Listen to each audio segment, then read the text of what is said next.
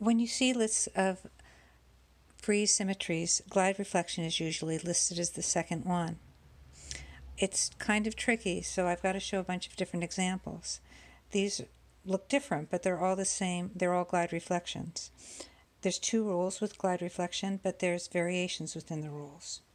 So what you do with glide reflection is you glide and reflect. But how far do you glide and what do you reflect around? Well, you can choose how far you glide. So in this one, I'm going to glide halfway across the original unit. And then, but since I did my glide along the horizon, I need to reflect across the horizon or a line parallel to the horizon. So I did my glide, and now I'm going to reflect over the horizon. Okay, so basically this is what my pattern is going to look like. This is my basic unit. I'm going to glide halfway across again, reflect again over the horizon line. So now I'm just consistently making the same decisions and it ends up looking like sort of like bricks.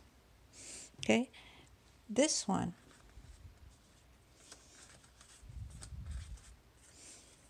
This one, I'm going to glide this time. Oh, I'm going to glide three quarters along the way. Now, if I if I reflected across the horizon line, it would end up down here. But I'm not going to do that. I'm going to reflect across a different line that's parallel to the horizon, which is which is this line. So I'm going to go three quarters of the way across. There's the line I'm reflecting around. So it ends up looking like this. And you can't see it because my hands are in the way, but that'll change in a second.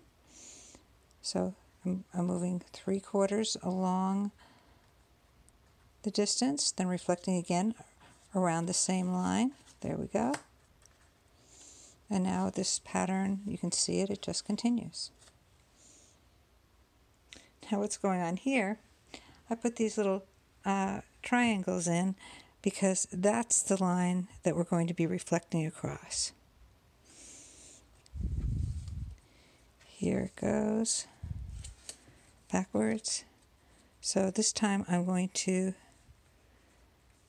move over this far, reflect across this line, and it ends up looking like that.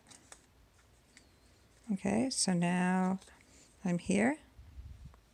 I'm going to do the same, move along the same amount, reflect over that line, and it goes like this. So now I know it looks like this honeycomb pattern. There you go. Doing one more sample, this time with pattern blocks. Okay, so this is the pattern block that I'm using. Um, I'm going to reflect along the horizon line. So what I do is I've got my exact copy. I'm going to move this over halfway, reflect across the horizon line, and it looks like this.